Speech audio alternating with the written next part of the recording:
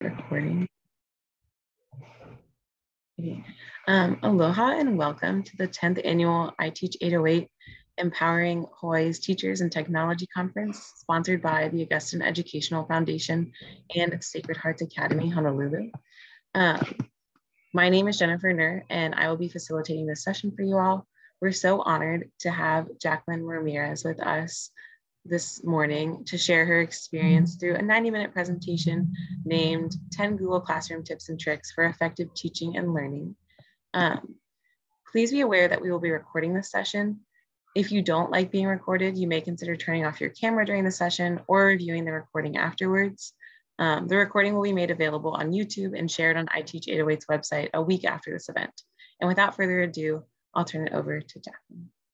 Hi, good morning. Thank you so much. It's it's so awesome to be here. I'm so excited. It's my first time presenting like this on Google Classroom, but I've used Google Classroom a lot um, and found it very helpful. So I hope that this presentation helps you. So I'm just going to launch right in and get started. Um, so I just wanted to say thank you to the iTeach 808 sponsors, the Augustine Educational Foundation, and the Sacred Hearts Academy for making this possible.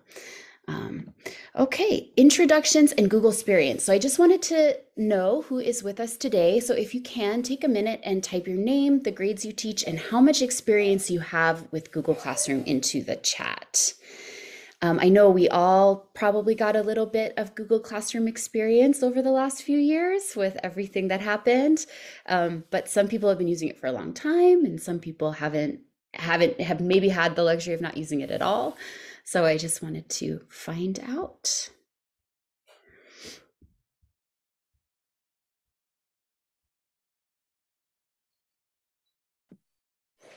Hi, my name is um, Jolene, and I teach at hi. I'm at um, Sacred Hearts Academy. Um, sorry, my dogs are barking. Um, and I teach um, second grade. So being that I'm with the lower group, um, I don't have as much, like I don't use Google Classroom or any of those sort of things for my um, my normal because um, my students actually don't have their own devices in my classroom. I have um, 10 iPads that we sort of just um, share, like when I need to do, when the kids need to do research or whatnot. Um, they get most of their computer experience um, when they go to the library because our media specialist, you know, does things with them on the um, the iPads and whatnot. But for my classroom, the kids don't use it. Um, I use it a little bit just because I need to for my, mm-hmm. you know, um, for my personal self, but uh, not too much, not too much experience. Okay, great. Thank you, Jolene. Welcome, Jolene. Sorry. Second grade, you're brave. You're braver than me, those little kids. and I know we have one more person, but maybe warming. Oh, I see a message in the chat too. Great. Okay, Jennifer, great. Okay, so we have already a wide span. Hi, Trisha, great. Toddlers. Oh, I have two toddlers. I don't know how you do it. Although mine is like he's already so savvy with the tech. It's kind of it's a little bit scary as a mom, but all right, great. So, um, wide range already of teachers, and I'm sure each of you are going to find Google Classroom useful for different things. I certainly have, depending on you know which um, which even individual family or student. So, great. Thank you so much. Welcome. All right. So. Uh, I teach the olders as well. Right now, I teach middle schoolers, sixth, seventh, and eighth grade, but I, I have taught all the way through 12th. Um, secondary English is what I have my teaching certificate in. Uh, right now, I teach at the Volcano School of Arts and Sciences on the Big Island. Um, we're a very small charter school, and I teach in their blended learning program. Um, but before that, I taught for six years at the Hawaii Academy of Arts and Sciences in Pahoa, also for their blended learning program. Um, I'm a foodie. I'm a word nerd. I love doing anything outside. I love living in Hawaii. I was born in New York. So this time of year, I'm like, there's no snow. It's amazing outside. I can go out.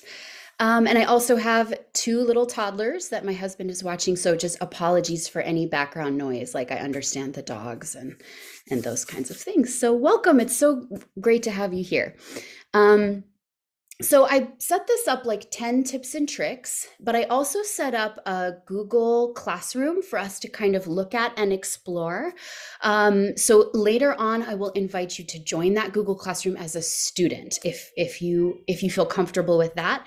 Um, it's just blank, and I will delete it after this session. So it's just for us to play and look at during this.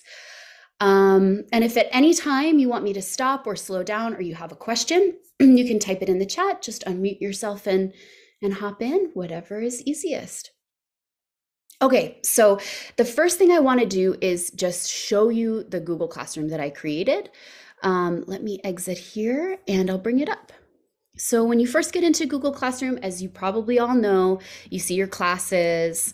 Um, your stream is kind of like where you post your announcements. Classwork, this is where you post your work. And people, this is where you can invite co-teachers and students. I just have a, a blank student account I created in here already. And then you have your grades tab. And Google Classroom just added the grades tab, I don't know, about three or four years ago, and it's super helpful. Um, so this is where you start. But my first tip and trick is to manage your notifications um, because when you first create a Google Classroom, it's just all of the notifications can are turned on, and it can be extremely overwhelming. Um, so it helps you minimize the contact from Google. I know as teachers, we're like overwhelmed with emails all the time, and deleting them is like its own job. So my first tip to save you time is to manage your notifications. And I will show you how to do that right now. So if you're in your uh, classroom, you can just click the wheel up here, class details, grading. Oh, sorry, it's over here. Classes.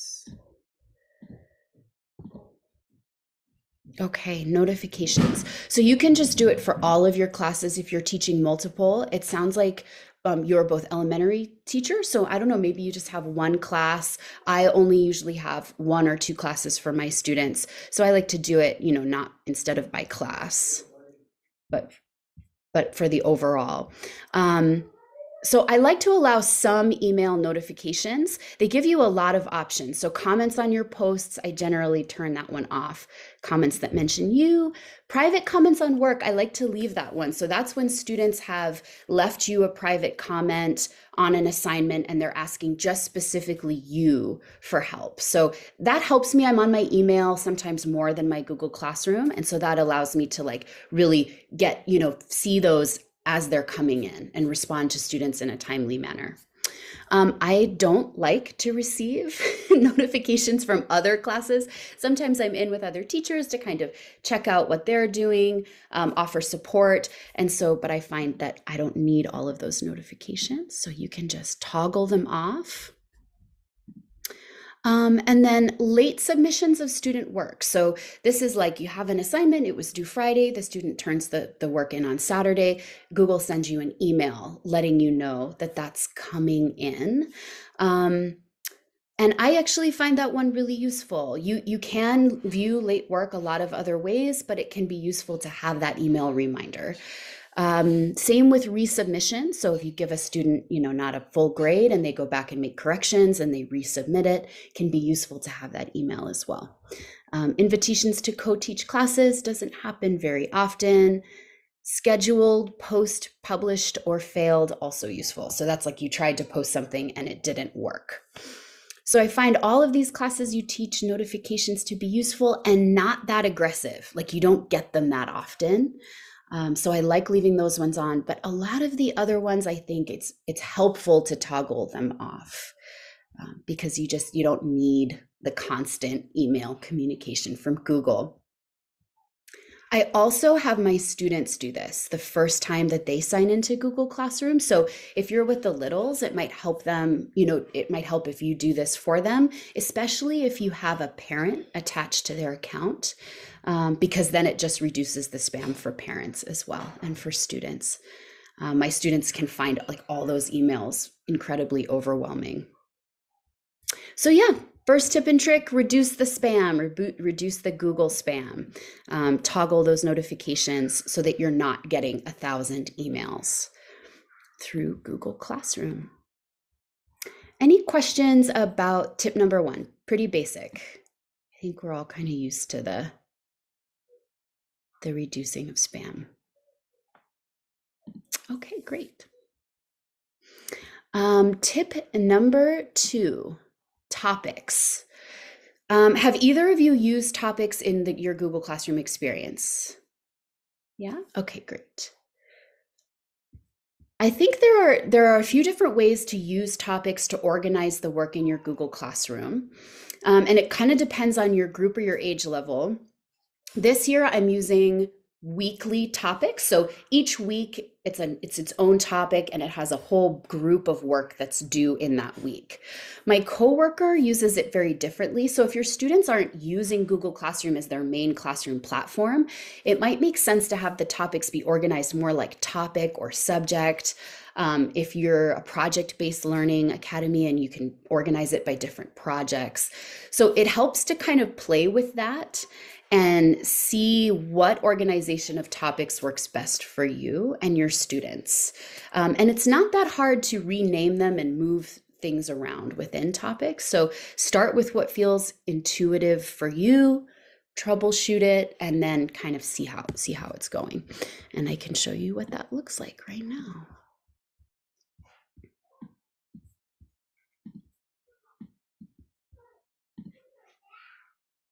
So once you're in your classwork tab, you can create a topic here. and it creates a line of it over here. And you can kind of move them around. So like if you wanted your first week up top, you could move it that way um, and you just click and drag them. Google makes everything pretty easy. Um, another thing I like about topics is that students don't see new topics until you actually post work to them. So it can be like a good way to minimize the amount of stuff students see. Um, it, so for example here, let me bring up my student version of this, uh, of this classroom. So if I'm a student in in this class, I will only be able to see the work, the week one topic for now. See, week one, it's the only topic I see over here, and I only see the assignments that have already been assigned. So I like the topics as a teacher for organizing as well, because especially for big long projects where you're back planning and you kind of have an idea of where you want your students to be in four or five weeks then you can lay it out in Google Classroom way ahead of time. And it helps sort of it, helps me stay organized and know where I'm going and kind of know that I have that structure built in. And then I can go in and edit and modify as I learn more about my students. So, topics can be really helpful.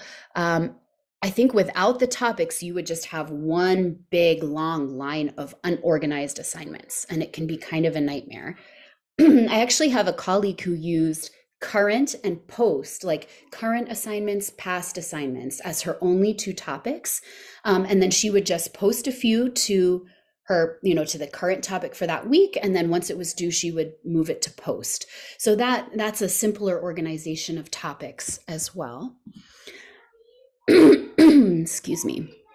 You also, once you have topics, can always create assignments that aren't within the topic. So sometimes I like to post materials. They're not really assignments, it's just extra stuff. Check out this cool video on space shuttles. And um, you can just post them with no topic selected over here. And then they just kind of sit up top. So from the student side,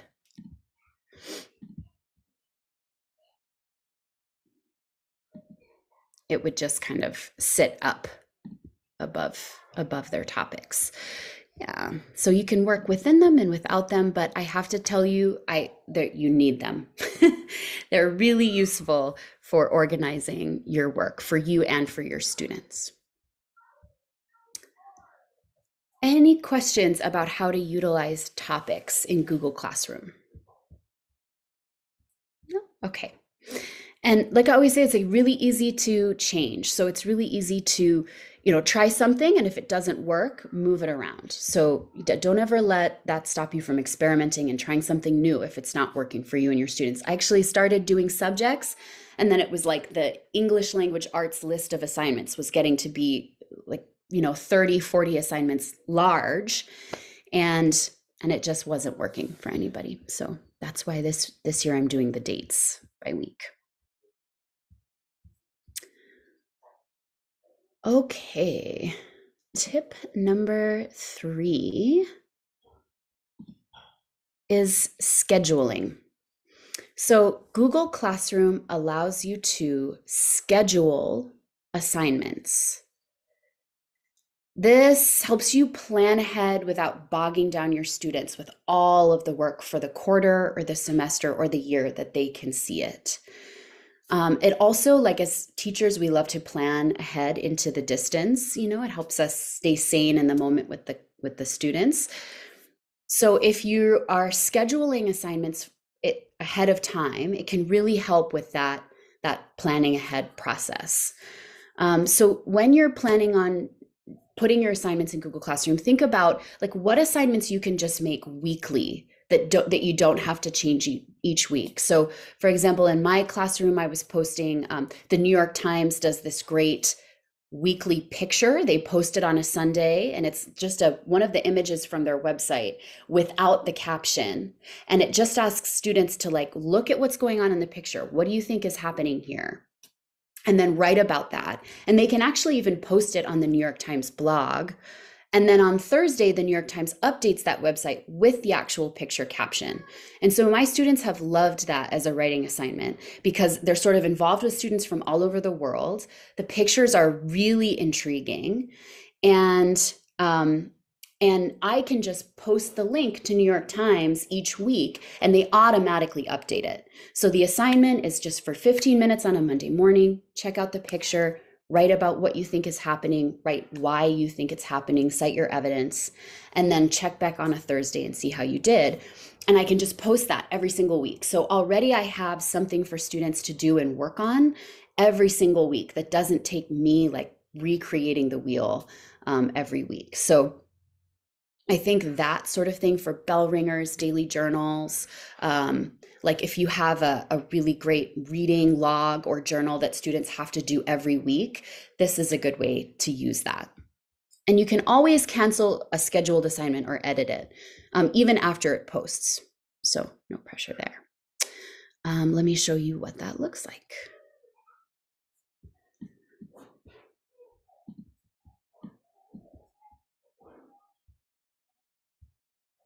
So here on the teacher side of this classwork, you see that I have assignments that are already in color, like this introduce yourself assignment is green. This one has already been posted to Google Classroom, so students are able to see this assignment. But if you notice from the student side, they can't see any of the other topics or work that I can see, and that's because I scheduled it for the future. So I always schedule all my assignments for the week to post on a Sunday and then they're usually due like on a Friday to give my students that whole week to work on it. So if you're using Google Classroom as a supplement to your to your class, then maybe you can post them like have them scheduled for the Monday, the Tuesday, the Wednesday, the Thursday, the Friday. Um, it depends on you know what works for your age age group. The olders, I think, have the have enough responsibility to schedule their week for themselves. That's a that's a skill in fact that we try to teach them. But the littles it might be helpful to have like a little something each day. You know you got like your mystery science monday and your you know whatever works. So when you create an assignment um, and you type in your information and your instructions and you upload any content you need to that assignment then over here before you post it let's do this due date for February 5th. So you say when it's due, put it in its topic. And then up here, you can schedule. It's not going to let me because I don't have anything in here yet.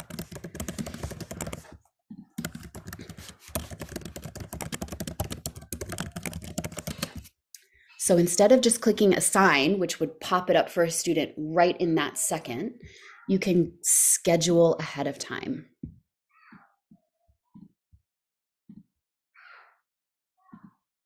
So I could schedule it for the Sunday before or the Thursday at 8 a.m. I could schedule it for after the school day if you really don't want them to look at it till they get home.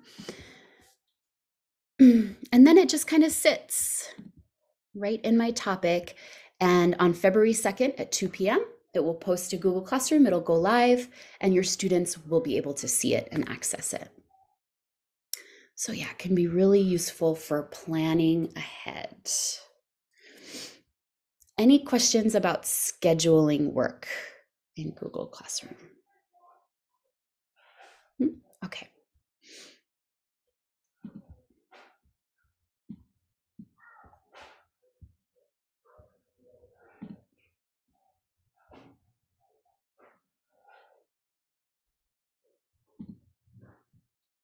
Okay, my fourth tip is always join your Google Classroom as a student. I just create like a dummy Google account, or in my school, we just create like student one, student two at our school. And it's so helpful because otherwise it can be really hard to see what your students see. And sometimes I think I'm seeing it the way that they're seeing it in Google Classroom, and I'm not at all. Um, so it can be really helpful just for you to be able to hop in as a student. It's also really, really useful for showing parents how to work Google Classroom because parents aren't going to see your view, right? They're going to see their students' view. And so especially with my my blended learning programs, parents are integral. And I know in any education program, parents are integral. So if students are doing work on Google Classroom at home with their parents, having the student account can be so helpful. And you can even um, give that login information to parents as like a general account so that if they want to check in on the student side without having to have their student login, they have that information. It's always better for them to just have their students login information. But for like the older kids, for my middle schoolers and my high schoolers, sometimes they want to give their students that independence to not share their password, but they also want to be able to see like, okay, what's, you know, what's going on in Google Classroom. So right now, if you want to get into my the classroom I'm currently showing you as a student to just kind of check out the student side of things, you can put your Gmail in the chat and I can add you in. Has has anyone ever seen Google Classroom from the student side? Like do you guys ever pop in from the student side? Okay. Thank you.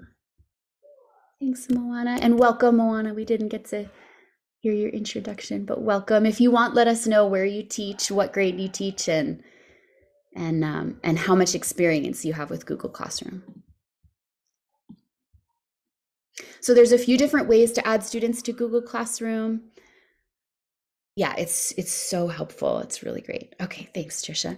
Um, you can just give them the class code, but I find it easier to just add them as students. So let me go ahead and add you all.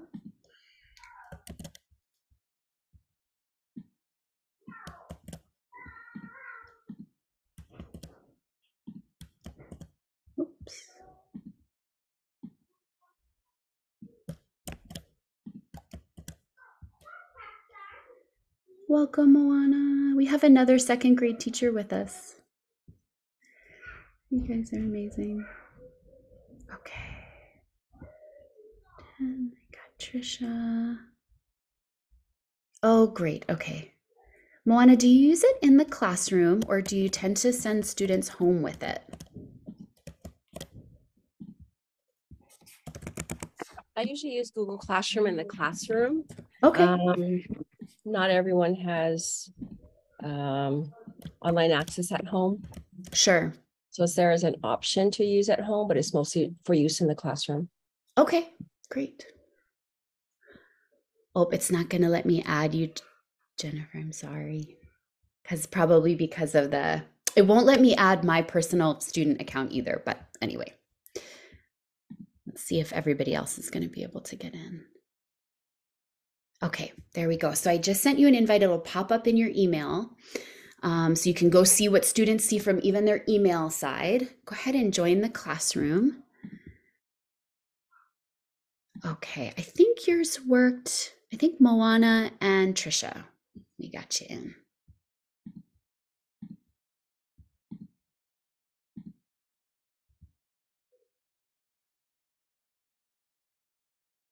And feel free take some time to play around in there like click the assignments try, you know try see what it looks like to submit work the options for how to turn in stuff how to attach a google slide um, i can walk you through some of those things right now from the student side it's so funny how long i taught with google classroom before i joined as a student um, because I think I just was imagining that some things were easier for my kids than they weren't. And as you guys know, there's so much it's like this double learning that they have to do where they're learning the content but then they're also learning you know how to handle the tech.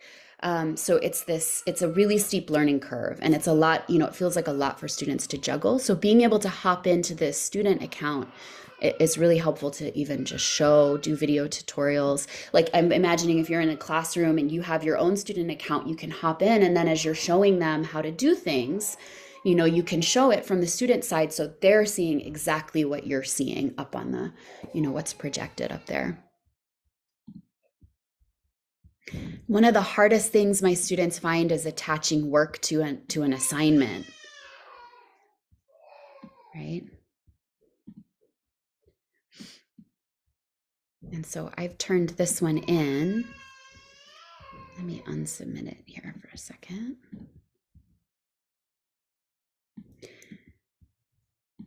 And so adding or creating, you know, they can either create this new for the assignment right here, or they can add something they've already created in Google Drive. A lot of my students prefer to do their work by hand, and we do a lot of art and journal writing and um, even pictures and videos that they're creating at home. Um, so being able to add a file for them is useful. You know, if they're emailing it to their school email address, and then and then getting it that way.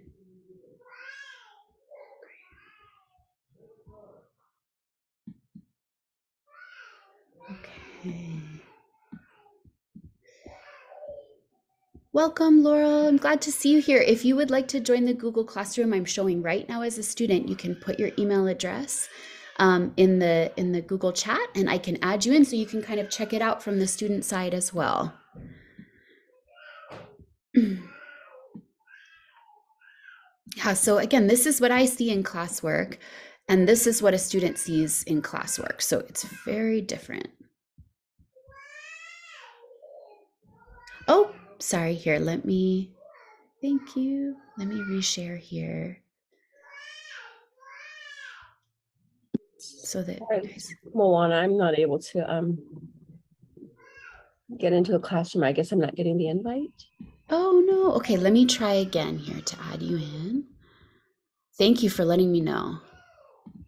It's never as seamless as you hope. Always a hiccup.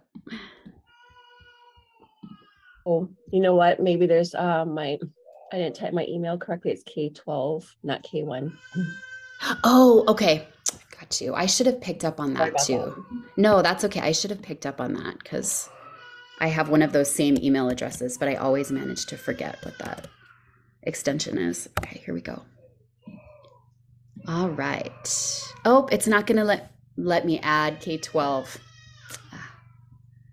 if you have a, um, a different email address you want to use, um, then you can go ahead and post that. But I think because it's a Google, because we have our specific like DOE, you know, um, what is that called? I think I have my um, personal Gmail on there. Okay, let me go see if I can find that. Oh, got it. Okay, thank you, Moana. All right, let me put you in there. Okay, says invited. Fingers crossed.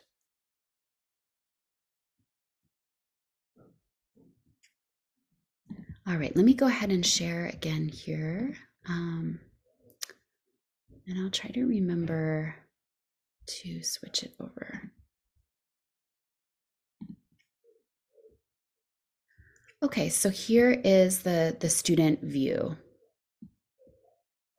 Oh, I'm sorry. Here's the students.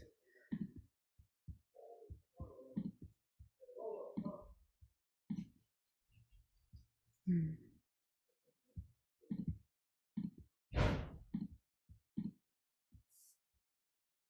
Here we go. So here's that student side classwork stream. So I just one more time because I wasn't sharing. Adding work for students can be so confusing. So having this up, you know, they just click add or create. They can they can create a doc or a slides or sheets or drawings from scratch or they can click on their Google Drive and select something. So, like a lot of my students want to take pictures of their work and turn it in and attach it. Um, so it can be, you know, useful to walk them through this this Google Drive piece.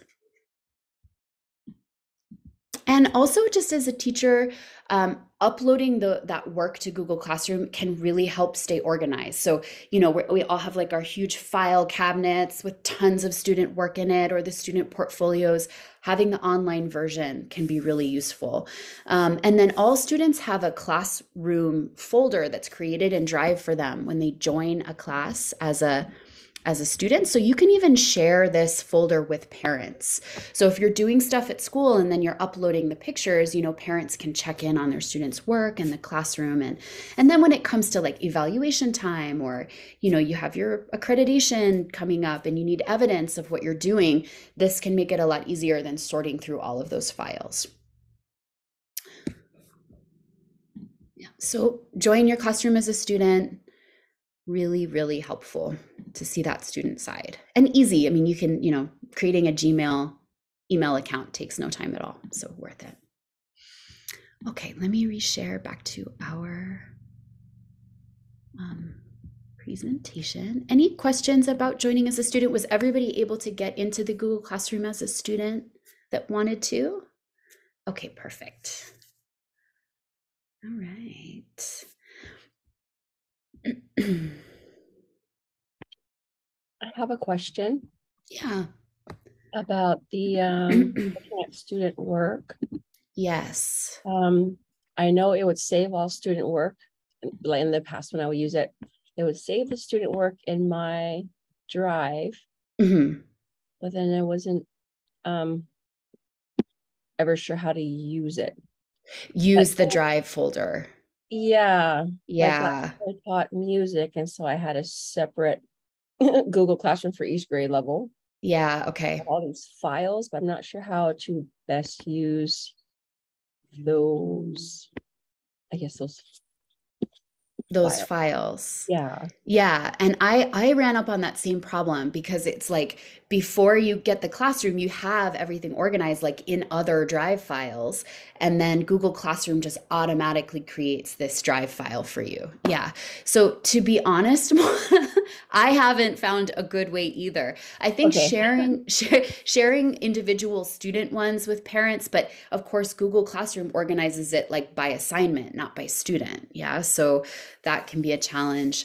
Um, it, I've kind of just ignored it unless I really need to go find all of the files from a specific assignment. So, like, let me let, let's walk through what that looks like. Um, so, if I go to my uh, drive here, I'm just gonna stop sharing for a minute because this is in my my personal email. Um, let me go find that classroom.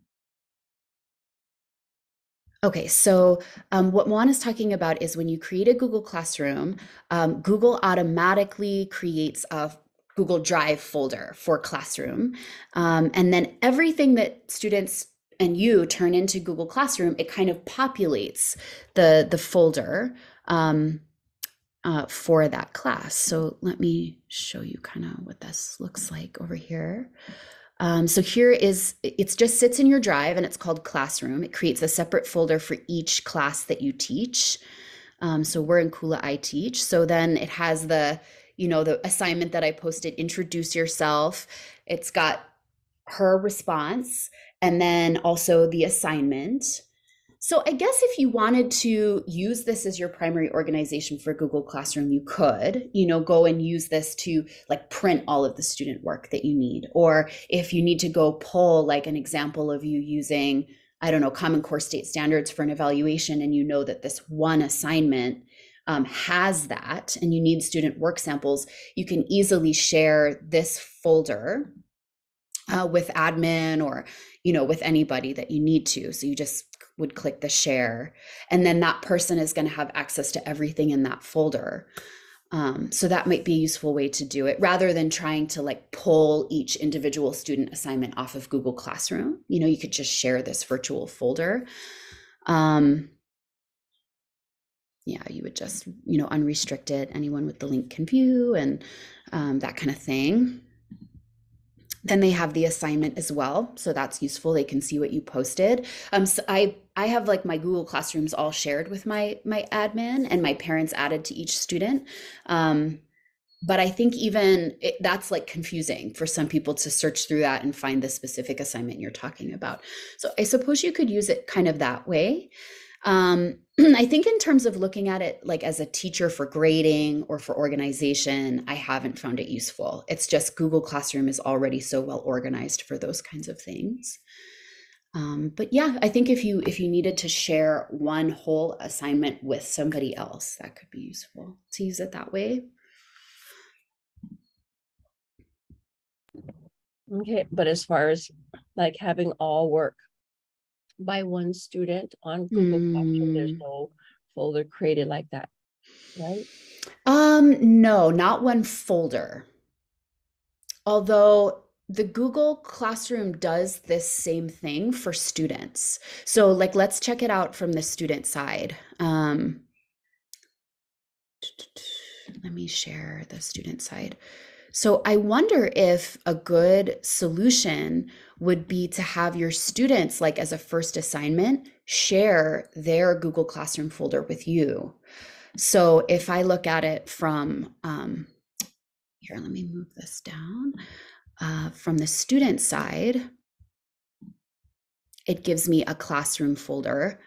Um, and then if I click on that, everything that I create or turn in automatically goes into here. It's just that right now I haven't, here, let me turn this one in and then it should populate it, I believe. So you're saying if, so the students have their Google Classroom folder created for them on their drive. Correct. Wanted to be able to see what they see in their Google Classroom drive, just ask them to add me to it. Yeah, I think Oh, that could be a good way to do it. Like, uh, so let's turn this, let's turn this in and just make sure. But I think, yeah, that could work. And then you could, and then it, it should be labeled even from your side, like by the owner, you know, like this student owns this folder. Mhm, Um, Okay. yeah. Kind of like how mine showed up on yours. Wait. Exactly. Yeah. Um, I can share mine with you. And I just want to see if it shows up.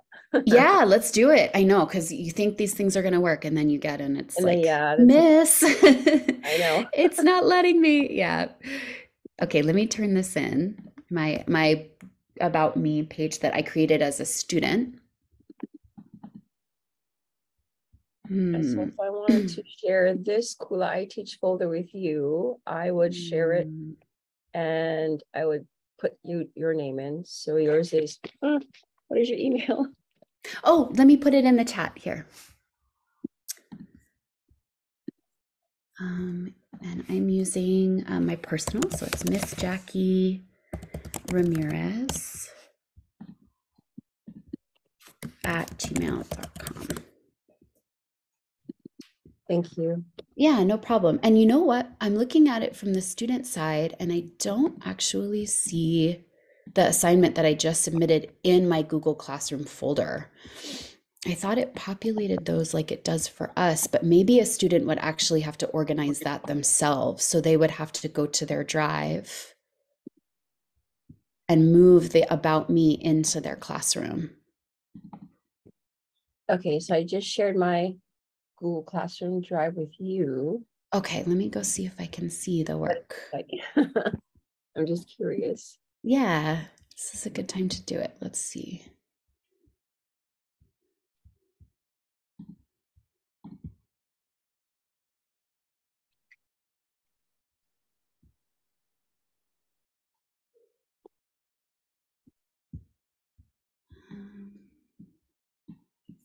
Here, let me look through my email. Sorry for the the dead air, everybody. but I do think this is like important to check out now um, and just see if it works because it's a good question. Like as teachers, we always think about looking at our students you know, by student instead of like by assignment or class. Yeah. Yeah, so it makes sense to want to do it that way. Maybe click on shared with me. Um, yeah, this one, so the one that we're seeing on the screen is um is the student account here. Let me stop my share. I'm just hesitant to show my personal drive. Oh, um, hmm. Yeah. But I can, let me see if I can find it. I did find the assignment, introduce yourself, but that was automatically shared through Google Drive. So I didn't actually get the invitation for your classroom folder. Hmm. Hmm. Let me make sure I'm not missing it.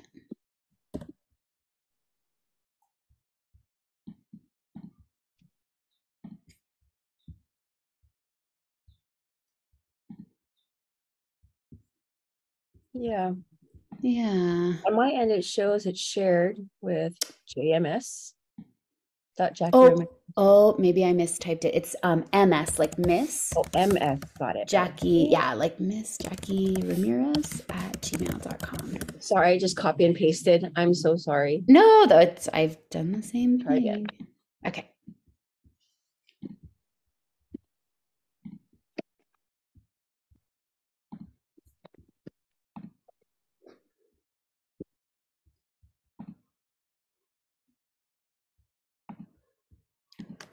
Okay, let's see if it's popped up. All right, just sent it. Hopefully, it Okay. through. Oh, I think yes, I think I'm seeing it. Okay, so um oh, and look, your your work is in there. Oh, Bowen, I think you found a cool workaround. Here, let me share this. Um, I'll show you what I see from my teacher side. So you shared with me your Kula I Teach folder, although you know it doesn't have your name, so you might want to have students edit. Like I wonder if they can edit it from their side to have their initials or their name or something just to keep so you don't have a thousand, you know, Kula I Teach folders with no idea which students which. And look, it's got your assignment right there. Okay. Yeah, so here, let's um Maybe give me want- another assignment, and I just I was just it goes in there just to collect. I all was just gonna work. say. Yeah. Yeah, let's try another one. Okay, so let me edit um, from my side this next assignment. We'll try the writing journal. Okay, so instead of scheduling it, I will just assign it right now to all students. Actually, this is a good time for me to just walk. Oh, I don't see you in here. Oh, okay. Let me try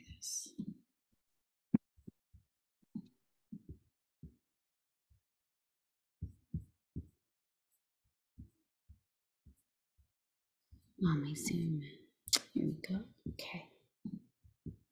Yeah, so this is another useful thing to note is that if a student joins your class late, they might not see all the assignments that other students do.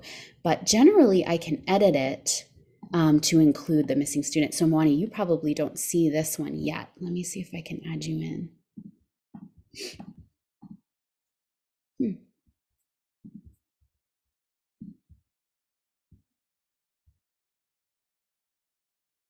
Oh, that's weird. It's showing you haven't joined the class yet. Let me refresh. There you are. Okay.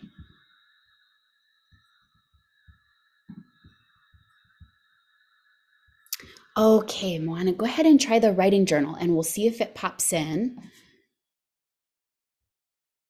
And um, while we'll come back to that, and I'll move to tip number five, and then we'll come back and we'll see if the new assignment has popped into your folder. And hopefully, it pops in without you even having to share it with me again, right? It should just populate in there. So let's try that. Um, so, the next tip that I have for Google Classroom are rubrics. So, does anybody use rubrics to grade student work? Yeah, I think by now we're all in team rubric. Um, it can be so helpful for making your life easier, for student students' lives easier, for just letting everybody know like we're all on the same page with our expectations, what we're what we're wanting from students. And Google has this great feature where you can import a, a rubric to the Google Classroom. And then it lets you grade student work just right there in Google Classroom using the rubric. Uh, so let me walk you through what that looks like in Google Classroom. And then before we take our five minute break, we'll hop back and check in with, um, with Moana's folder and see if that worked. okay.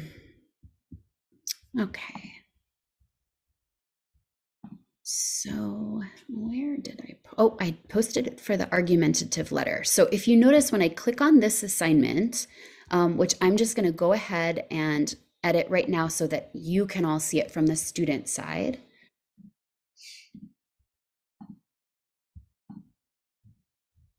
And welcome, Randy. If you want to join this Google Classroom as a student, you can just put your email address in the chat and I'll go ahead and add you in. Right now, everybody's exploring kind of the student side of this Google Classroom because most of us are used to seeing the teacher side.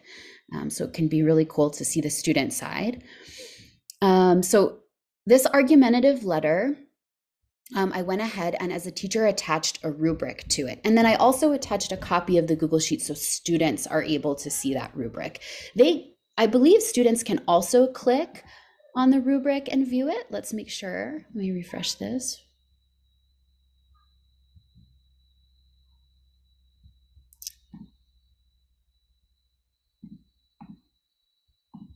Okay, here's the student side. So now I can see the argumentative letter.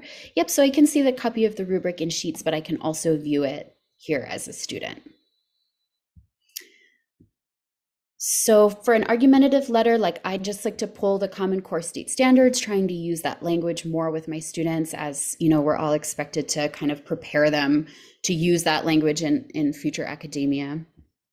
Um, so hopefully we re reviewed this as a class, of course, before I just throw it up as a rubric.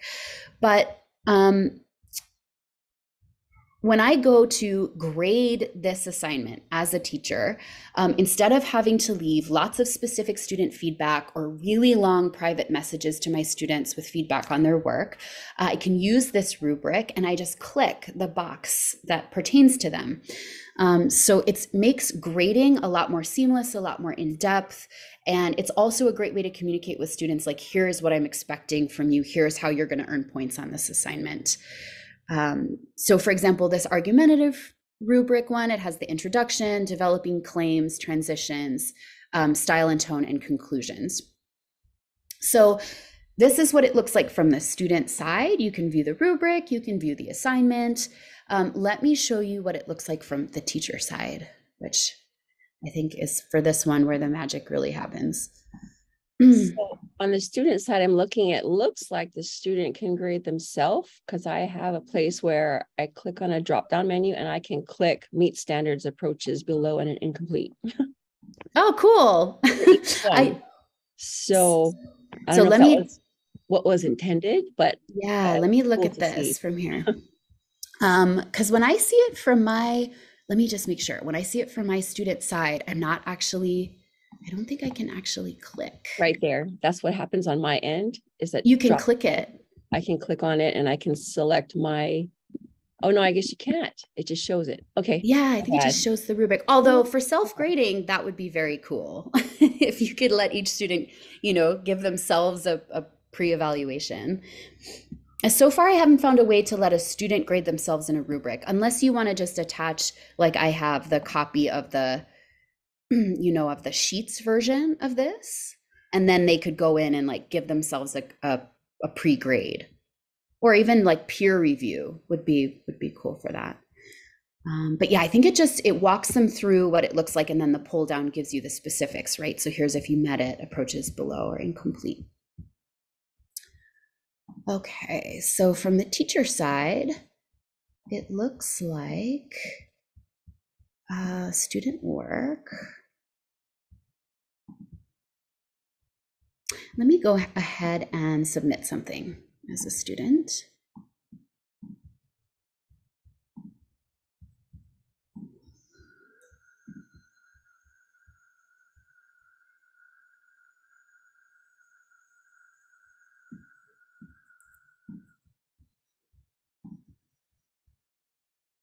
Okay, so I've turned this in from my example student account. Another really great reason to join as a student, because you can kind of see, you know, if you turn it in from the teacher side, what is this going to look like? Um, and then if I go back to the teacher side,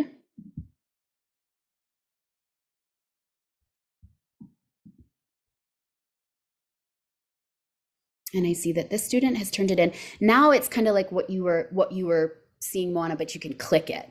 So like, okay, student has approached the standard on this, and it automatically updates the scores, right? Student is, and you don't even have to do the drop down if you're really familiar with your rubrics.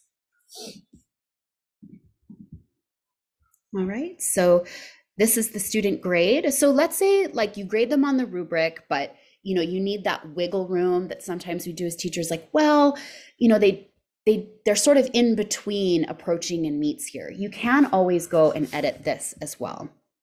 So the rubric makes the grading really easy but then you still have that ability as a teacher to kind of up or down as needed um, if you feel like you need it. And then you can always like add them a private comment hey i saw that you did really well in this piece but you know take some more time to work on your transitions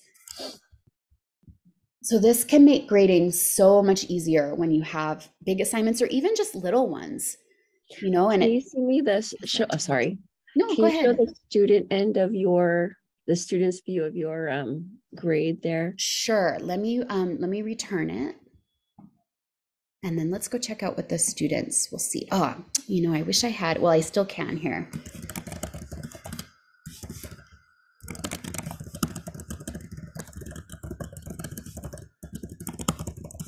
Okay, that private comment. And then I'll show you what it looks like over here from the student side.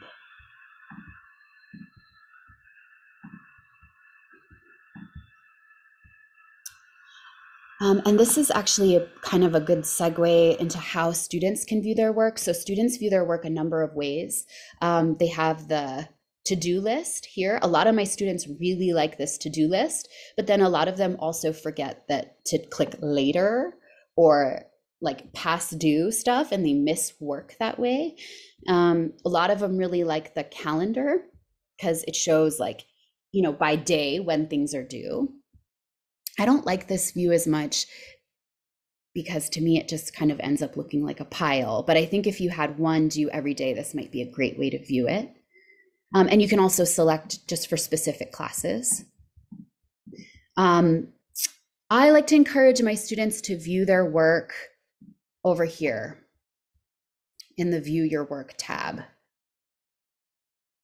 So it shows the due date here, it shows the status of their assignment, and this is also really easy to print. So later we'll talk about like ways to communicate with parents over Google Classroom. Um, and one of my my favorite ways to talk to my parents is just to literally print this screen as a list of work. Um, because it means the student uh, the parents don't have to get on the computer at all. And they have a list and it shows clearly like okay you turned the argumentative letter in but you got a 70 so now get on your computer and show me you know the work and why you got a 70 so okay let's check out the argumentative letter. Grade is right there private comment comes up view details so now they see the grade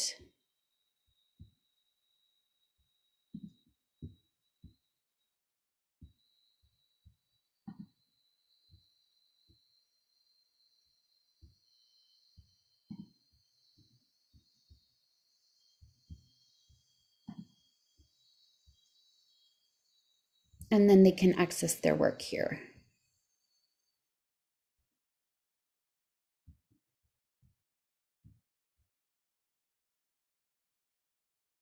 Cool, yeah. It's is cool. good. I like it. Yeah. it's A handwritten assessment that they've done, but you'd still like to grade them like this. like Yeah, that. so there's a few few different options for that. Um, one, you can have them take a picture of their work and upload it to the Google Classroom assignment. That's been my preference because then you have everything organized right in Google Classroom. And like if we're talking about the organization with that classroom folder being shared with you, then it's automatic. And also if you have a lot of students putting putting that in their to-do list, you know, takes it off of yours, like having to organize everything. Um, so I like that method that take a picture and turn it in, or you know, take a video and turn it in. Um, and then you just it's just a file here. You see, you know, the the picture instead of the doc right here. Um, and you can grade it using the rubric just the same. Um, another option is you receive that piece of work from a student physically. And you can still assign them the grade on Google Classroom, even if they haven't turned it in. Um, so let's see what that looks like. If I go on the teacher side,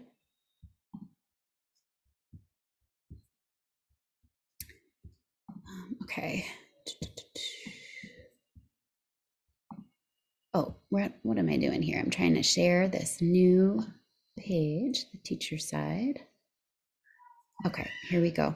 So um, if you have a student and like let's see moana you you have turned in your assignment to me in person physically and you didn't touch the google classroom you're just not tech savvy you don't have internet at home you don't get it you know it's the end of the class period but the student has done the work i as the teacher can still give you feedback even if you haven't turned anything in so I could grade you right here, you know, on the on the rubric.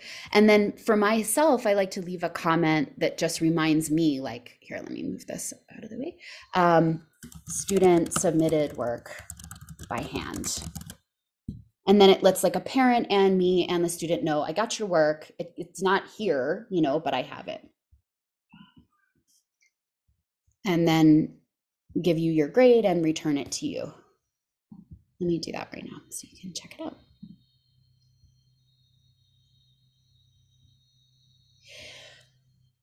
the challenge with rubrics is that it looks very easy on the Google Classroom side. Creating those rubrics in Sheets is can be like a nightmare um, because Google Classroom is very specific about what needs to go where in order to upload a rubric. So I really want to show you um, how to do that.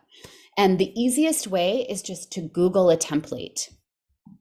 And I have the best one I found is by Alice Keeler. She's just an educator. She runs a blog. She has a lot of awesome resources, but she has this free um, Google Classroom template rubric and when you click on it it just asks you to make a copy. You make a copy add it to your google drive um, and it's the best one i found and it's the one that i'm using for this argumentative letter. So i'll go ahead and put this link in the chat um, if you want to go click on it and play with it while i'm talking. Um, it's really really useful. Because i've tried to just open a google sheets and start myself and it takes forever to figure out where Google wants, like what heading and, you know, where this goes and where that goes. So um, let me show you what that looks like.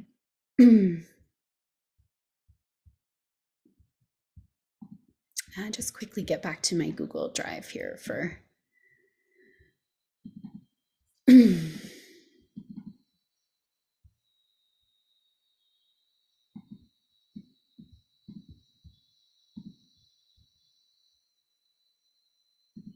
Okay, so here here's what the sheets side of of the the rubric looks like. Okay, and you have the view only version of this because I posted it to Google Classroom as well. Um, when you get it from Alice, it's a it's a lot more basic. Uh, let me show let me walk you through what that looks like.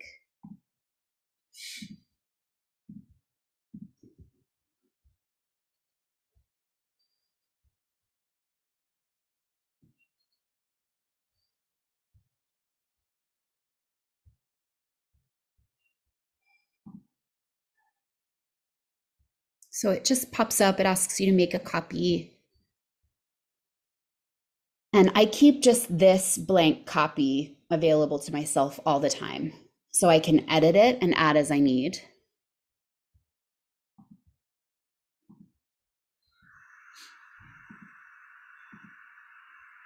and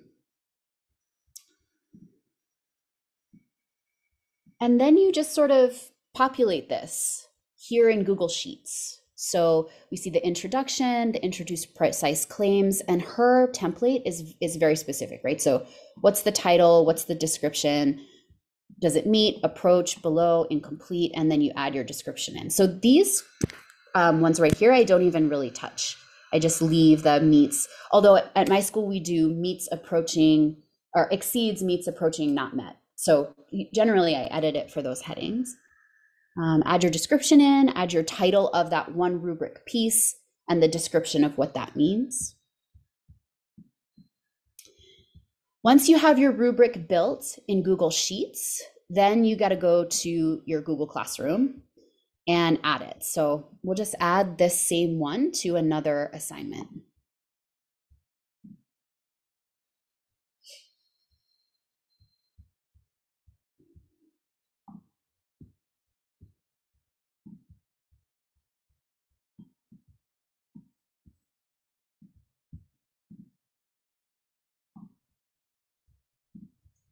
So right over here in Google Classroom, you see the little rubric option. You can create it from scratch, but they don't really give you a great template. I think it's much easier to start with her one and have it built in your Google Drive before you add it to Google Classroom. So then you just import it from Sheets.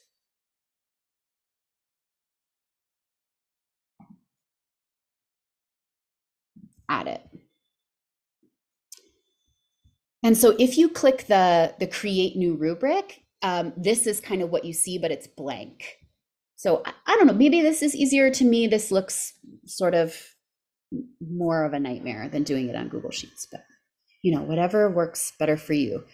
Um, and then you just save it and it's and it's there there for you to use you can also um, reuse a rubric so if you're using the same one over and over again, like we were talking about scheduling, those bell ringers, those weekly assignments are the same.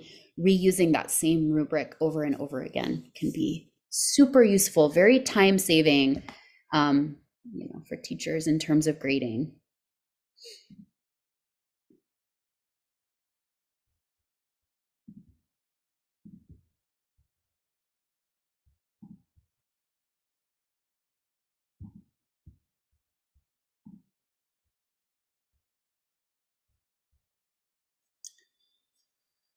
Okay, any questions about using rubrics in your Google Classroom?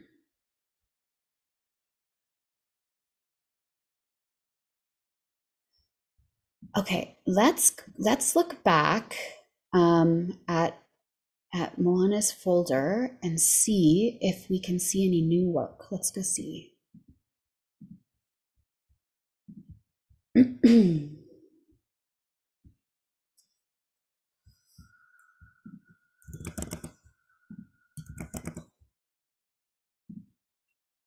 Oh, so cool. Okay, check it out. Moana, I think you found the way to use that folder usefully. yeah, that's good because I'm going to use this. Students, one, all the students' work is in one folder. I like that. there you go. And I like too that it's not like in all of these crazy subfolders you know it's not like you have to click on you know the oh the argumentative letter assignment folder and then click on that. It's all just right there as as work. So that's very cool. Yeah I yeah. agree. Mm-hmm. awesome. I'm going to add it. It's tip number 11 that's really great. And so you would just have to again have them um, share it with you. Let's just see if if i'm able as a student to edit the name of that folder to have my initials. I think you're able to, but just to make sure Google doesn't have it blocked.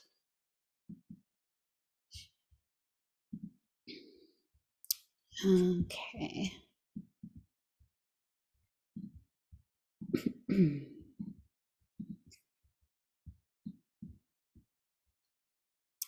um, that's not the right one. Here we go. See, okay, so uh, this is great. Look at this email. I didn't edit my notifications as a student, and I just get so many emails. It's overwhelming. So, again, it's useful for students to be able to go and edit their notifications as well. Um, okay, let's see if I go to my drive, classroom, rename. All right, so I could just do JR. Perfect. Yeah, that's great. Okay, all right. So um, we're about uh, 60 minutes in, we're about an hour in. Um, so I have a five minute break built in.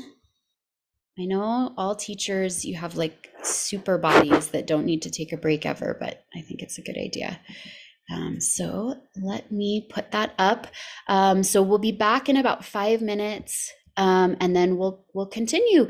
Um, I'm gonna just grab some water and then I'll be back if anybody has questions while we're gone. Um, I'll be around. Okay.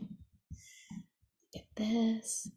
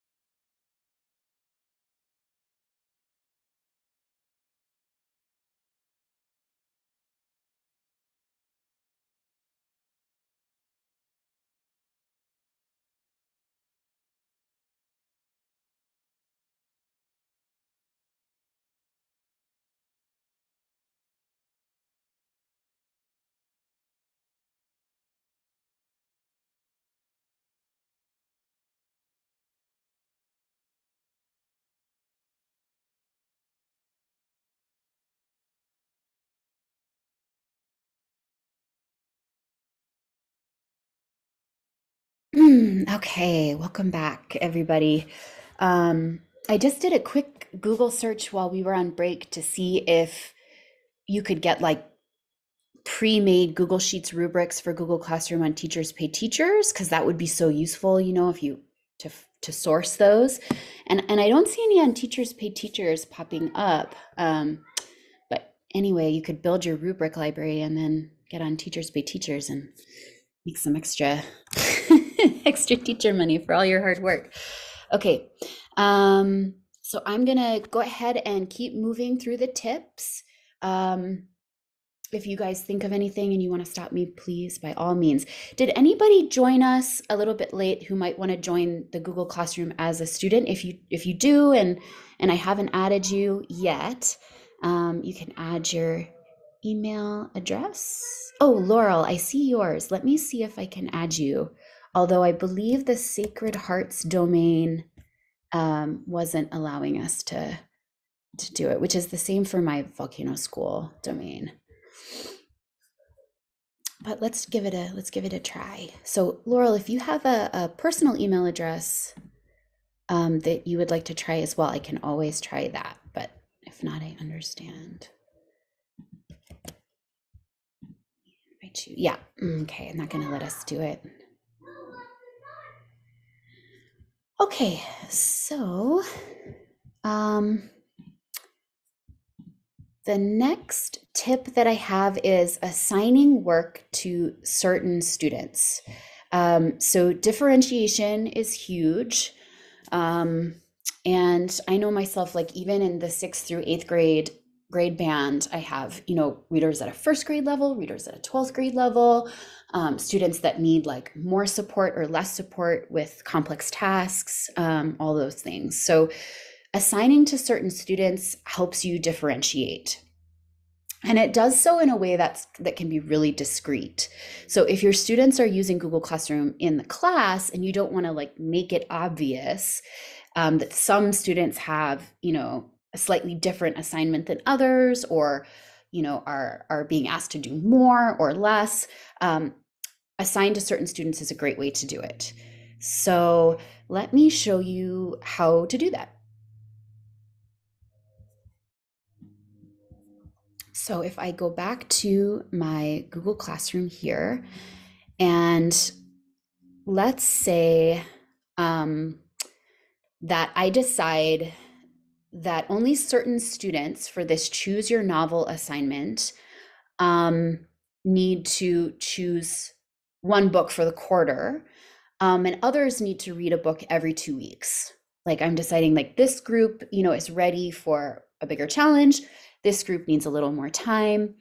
Otherwise, expectations are the same. What you can do is um, when you're in the, the editing the assignment area, you can select certain students. So I'm just going to give this one um, to Moana and Trisha. and I'll save it. I'm so and sorry. I'm, I just got back and I heard my name. Oh, I'm Moana just doing now. She's Moana's getting the advanced version of this assignment. So I'm talking about how to um, select certain students for certain assignments so you can di- differentiate within Google Classroom. So some students see one thing and some students see another. And I think um, one of the most useful ways I found of doing this is by just literally posting the same assignment with the same title, but you slightly change your expectations in your instructions so that when students are in a classroom, it's not obvious to them who is getting this assignment and who is getting that assignment. Right. So it's like a very discreet way to differentiate. And so that's what I'm showing right now. Oh my gosh, we have 15 more minutes. Okay, let me go fast. It went i was so worried that i wasn't gonna have enough so that's good. Okay so you select up here there's certain students that you want and i always keep a like a physical roster next to me. These students are in group a group b group c because um, it can be really easy to lose track. So i save that and now trisha and moana if you check your student side of this classroom you will be able to see this choose your novel assignment as it's posted right now.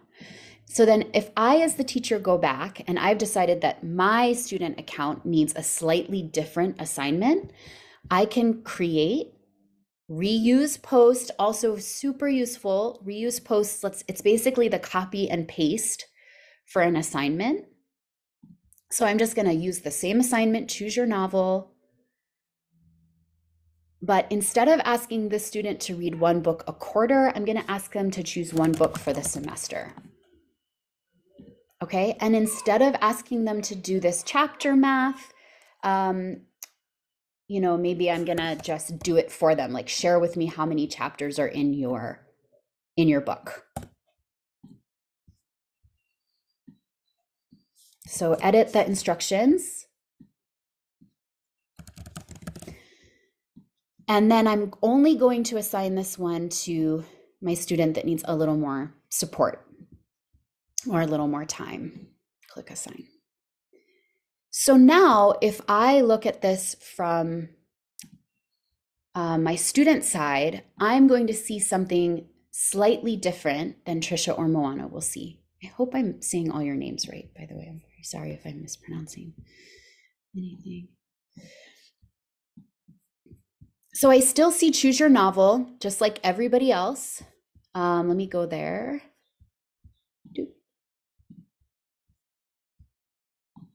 But when I look at it, the instructions are slightly different. Okay, great. So you got the assignment. So see, mine says read one this semester. How many chapters will you read? Um, so this is the, the best way I found to differentiate within a classroom. Um, and then, you know, it's easy to use that reuse post to just sort of reuse it over and over again. If you click the reuse post, you have to reselect the certain students. Um, my kids are really quick at letting me know, Miss Jackie, you assigned me work that's not for me. You know, so if I make a mistake, they tend to let me know right away. Sometimes I don't hear from them for weeks and then I assign them the wrong math and they're like, I don't want to do this math. It's not mine. And it's a good way to know, okay, you're still out there. You're still reading the Google Classroom. Um, so using that tool, the selecting certain students is a great way to, to differentiate that work. Um, any questions about that? About how to differentiate using select students? Okay, great.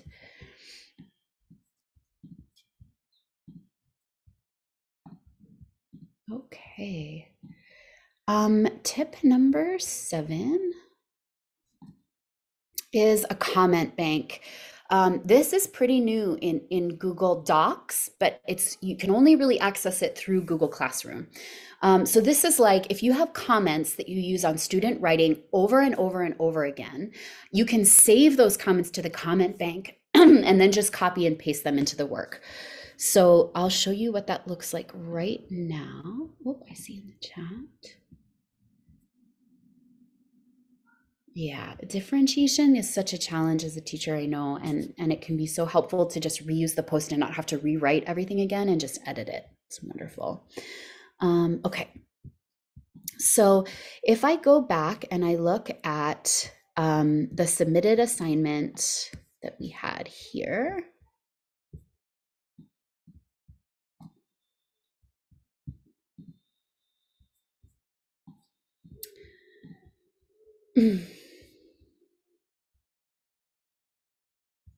So here is my students introduce yourself assignment.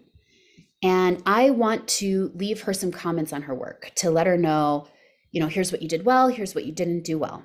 So I'm in the assignment.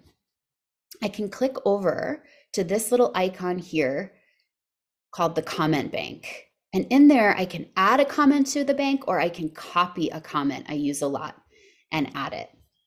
So please recheck your work for spelling and grammar errors. Then it's going to sit there for every single student. So if I turn over to Trisha's or Moana's work, I can copy this same comment into her work. So I don't have to retype comments over and over and over again. I just click copy, leave a comment, put it right there. Okay. Another thing I love about this feature and that my students really like too is you can leave links in your comments. So, for example, with this one, I'm not able to see your photos. Make sure you have them added correctly. Check out this quick video for more information. So, when I leave my student this comment, there's a link to a video on YouTube that talks about adding pictures to, to Google um, Slides. So, if you have a bank of stuff that you know your students really struggle with, even if it's like, you know, here's how to correctly use a period, and then you can link to information about how to use a period, um, then um, then you can you know make your life easier and also make that those comments and those corrections more useful for them. So that's a really great way to use the comment bank.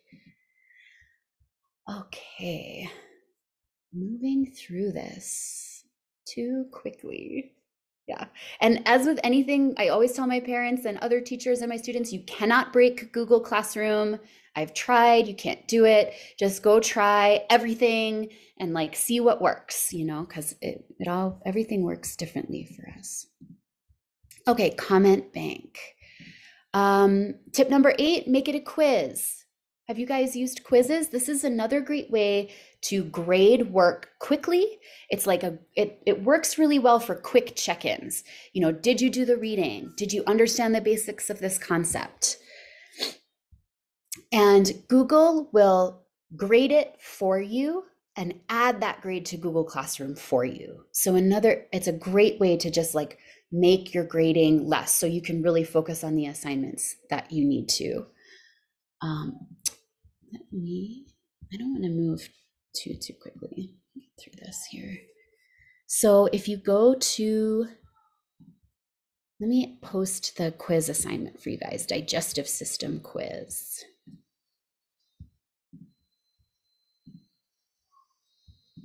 So you can go check this out from the student side. I just posted it. So you'll see the notification and you'll see it pop up in your classwork. Um, when you do this as a teacher, it gives you an option up here to create a quiz assignment, and then you can, it'll create a Google form for you. So it'll just give you a blank quiz. You can click on that and edit the quiz. Um, one of my favorite things about the quizzes is the is the self grading function. So like question, and then you have a bunch of different um, answer options.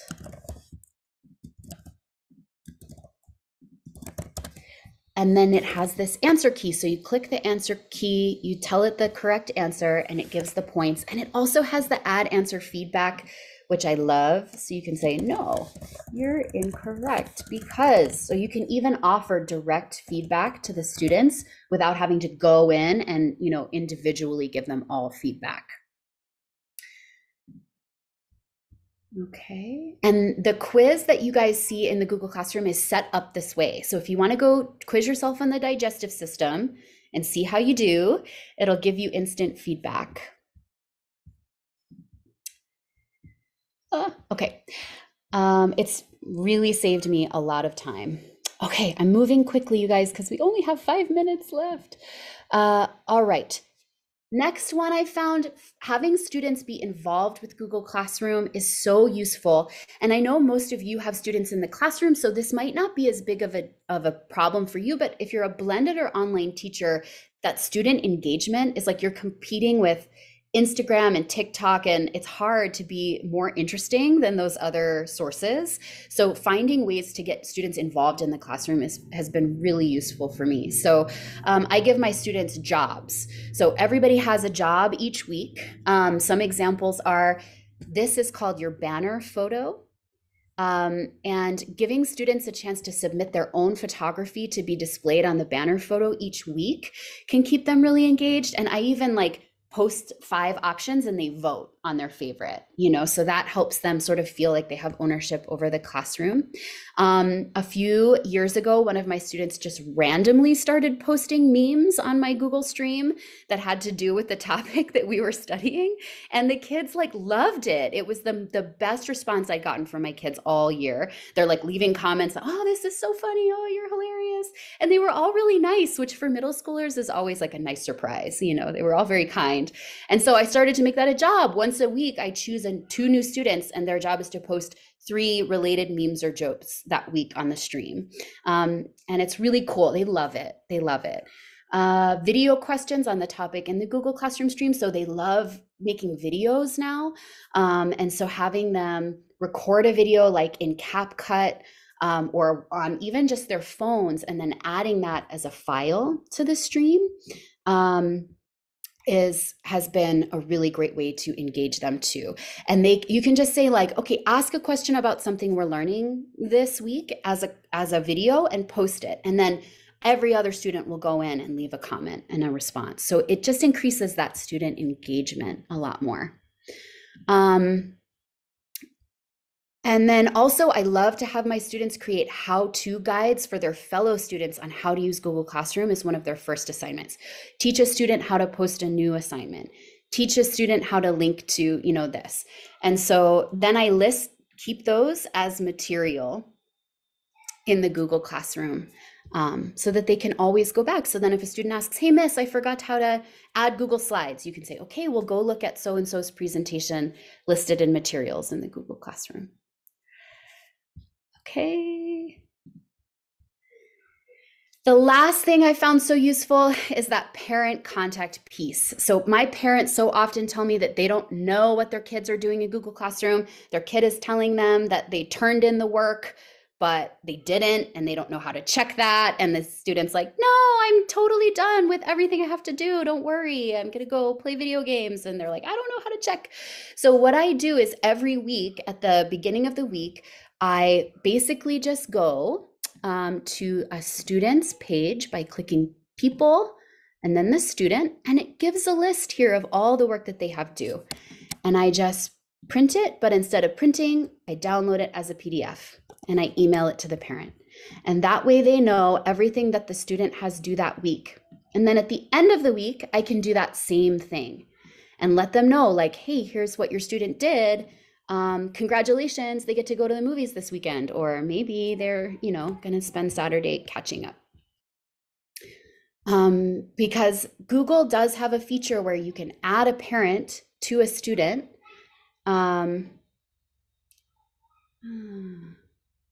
let's see where it is here, but usually it comes up right here. You can add a parent. And Google will email them updates, but those updates are really, really hard for my parents to read. I don't think they've ever really found them very useful. So um, that's my last tip.